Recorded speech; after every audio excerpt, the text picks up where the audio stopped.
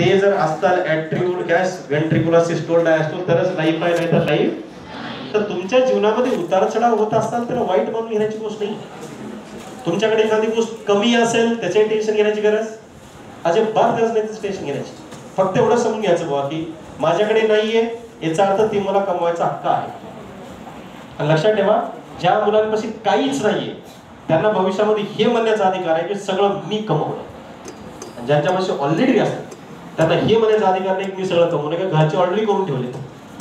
तर तुम्हाला एक प्राऊड फिलिंग भविष्यात भेटणार की हे सगळं मी उभं केलं. माझं साम्राज्य हे मी उभं केलं. पण तुम्ही ऑलरेडी जर वेस्ट एस्टॅब्लिश असाल ते काय म्हणणार? मुकेश अंबानीच बोल काय म्हणणार?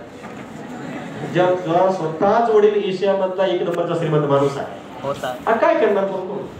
त्यांच्यापाशी तो अधिकार नाही. मी माझं साम्राज्य उभं केलं म्हणायचं. आपल्यापाशी अधिकार आहे म्हणण्याचा की मी माझं साम्राज्य उभं केलं कारण आपल्याला कोणी काही वारसामध्ये दिलेलंच नाही. जे वारसामध्ये दिलेलंच नाही तर मग लॉस होण्याची भीती कोणाला असणार? लॉस होण्याची भीती त्याला असणार जे समज काही आहे. मर्सिडीज घेऊन जन्माला आले मर्सिडीज मर्सिडीज नसेल तर लॉस आहे आयुष्यामध्ये. मर्सिडीज घेऊन आले का जन्माला? उघडे आले उघडे जाणार. भीती कशाची? आहे? असं काय केलंय आपण त्यामुळे एवढं भीती बाळगू नका. किंवा मी नेहमी सांगतो ना की माझं ए, माझं लय कलाकार. काही विचारतात. तुमची सॅलरी किती म्हणा इतकं गरीब माणसाच्या पोटावर पाय द्यायचे धंदे? हे असं म्हणतात माणसाला पगार बाईला वय कधी विचारायचं नसते.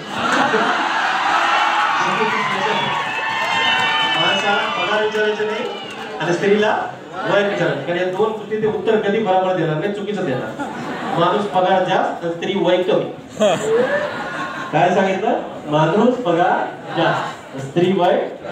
हे दोन्ही उत्तर कधीही अॅक्युरेट येण्याचा अपेक्षा बाळगू त्यामुळे असा प्रश्न त्याला कधी विचारायचा चुकूनही विचारायचं तुझं वय किती? इकडे विचारायचंच नाही.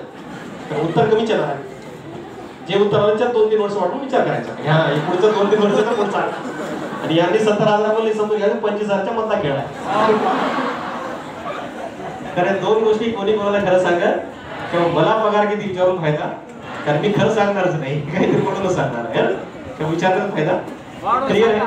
त्याच्यामुळे याच्यानंतर कोणता वाईट विचार करणार नाही. मनात कधी निगेटिव्ह आणायचं नाही.